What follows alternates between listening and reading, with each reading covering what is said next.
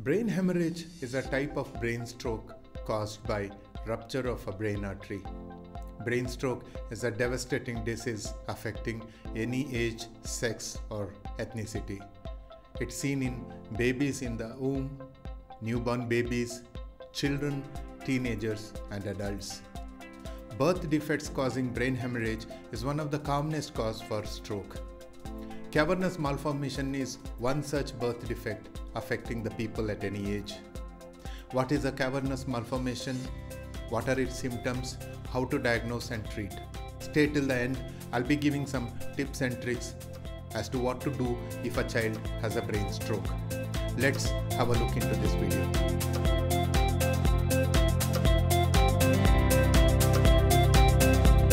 Hello and welcome. This is Dr. Arun Naik from Doclogues channel. Dialogue with your doctor is called a DocLog.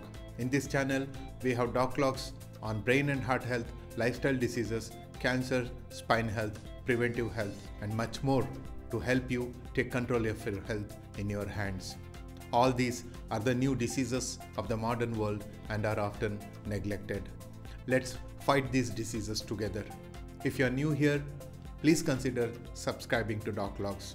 All additional links, tips, and tricks told in this video, I will leave the details in the description box below. If you want, you can check those out. That said, let's get into the topic. What is a cavernous malformation? Cavernous malformation or cavernoma is a cluster of abnormal, tiny, thinned out blood vessels called capillaries filled with blood and located inside the brain. It looks like a small blackberry. Sometimes it can happen in the spinal cord also. This is a birth defect or congenital problem. It may happen soon after birth. Size of cavernous malformation may be 2 millimeters to 4 inches. They are also called by different names. Cavernomas, cavernous angiomas, cavernous hemangiomas or intracranial vascular malformations. The exact incidence of cavernous malformation is not well known because they don't have any symptoms in many of the patients.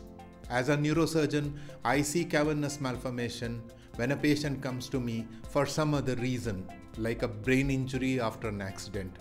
It is said that about 1 in 200 people have cavernous malformation, which is silent in them. Most of them are silent in their lifetime. They don't cause any problems. Although a birth defect, it can come to light anytime during the lifetime. Last week, I saw a 70 year old gentleman with recent onset headache, and on an MRI, he was found to have microhemorrhage due to a ruptured cavernous malformation. So, cavernous malformation, although congenital, can present in any age. We see it quite often in adulthood. What are the causes for cavernous malformation? Well, we do not know what causes cerebral cavernous malformations. About 20% of people with cerebral cavernous malformations have the hereditary type passed on from generations. Most often, they occur sporadically, that means without any definite reason or distribution. What are the symptoms? As I just told, most people with cavernous malformation may experience no symptoms at all. Cavernous malformation is a thin walled capillary, so it can sometimes rupture and cause minute brain hemorrhage. What are the symptoms of cavernous malformation? As I just told, most people with cavernous malformation may experience no symptoms at all. Cavernous malformation is a thin walled capillary, so it can sometimes rupture and cause minute brain hemorrhages. When repeated hemorrhages happen, iron in the blood is layered on the surrounding brain. This iron is irritant to the brain and can cause seizures or fits. Symptoms depend on the location of the lesion. Some of the symptoms are weakness in arms or legs, vision problems, balancing issues, memory and attention problem, headache, speech problem, or difficulty in walking. Rarely, in cases of large cavernous malformations, the brain hemorrhage may be very big and can cause significant brain damage and even death. When and how to seek medical care. If you experience sudden neurological symptoms such as sudden severe headache, vomitings, seizures, weakness in arms or legs, vision problems, memory and attention problems, seek medical attention immediately. You can have some issues with your brain. Chances of it being a cavernous malformation, although, is very, very less. Now, what are the tests and diagnosis? When any patients with sudden onset seizures or headache comes to me, I do a detailed neurological examination to understand the severity of problem. I may order a scan, mostly an MRI scan. MRI scan is the best mode of test to diagnose many conditions including a cavernous malformation. A CT scan may totally miss a cavernous malformation. Usually no more tests required in most cases. MRI scans may need to be repeated to analyze a change in the size of a cavernous malformation. Recent bleeding or appearance of new lesion is a red flag. What is the treatment? As I said earlier, most majority of cavernous malformations are silent or incidental and come to light only when we do an MRI for some other reason. In such cases, nothing needs to be done. I keep them in the follow up and I may do an MRI every 2 years for 6 years and then from then onwards every 5 years.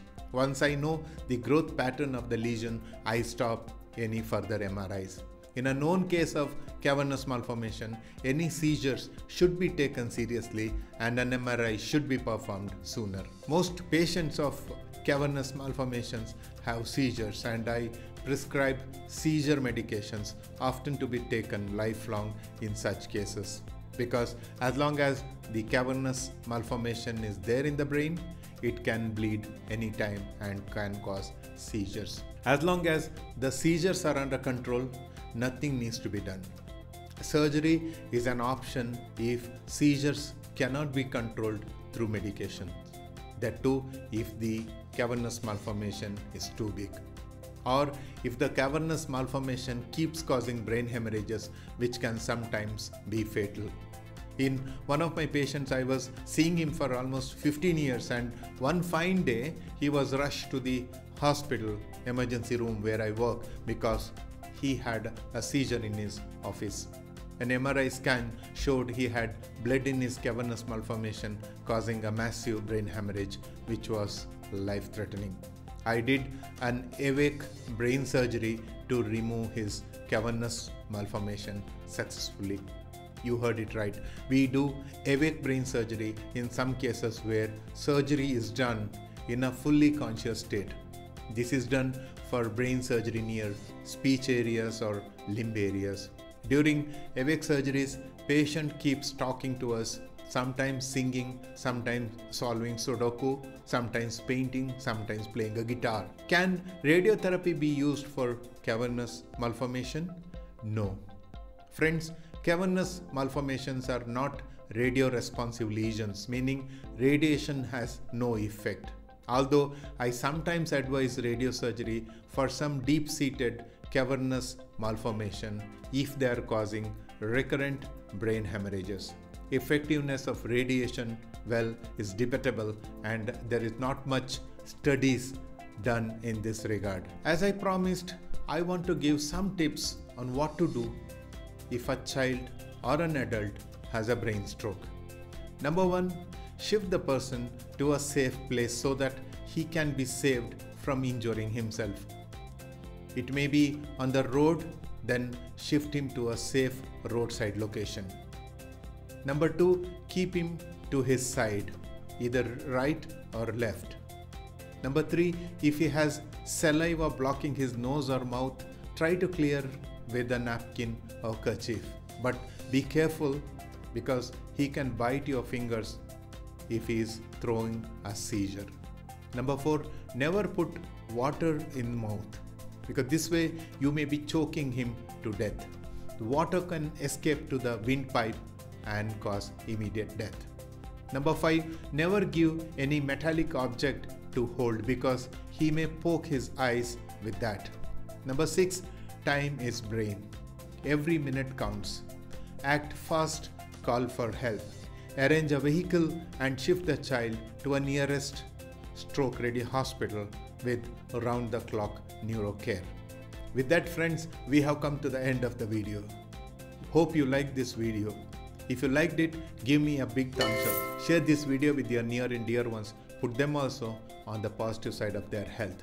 If you are new here, please consider subscribing to Doclogues. It will be my honor to have you in this ever growing community of Doclogues. Hit that bell icon to get instant notifications of my new videos. If you have any neurological ailment and if you need any help in fighting your disease, please leave a message in the comment section below. I will definitely throw some light on your problem. Friends, I'll be back with another equally interesting Doclogue very soon. Till then, feel awesome, live awesome, and take good care of your health.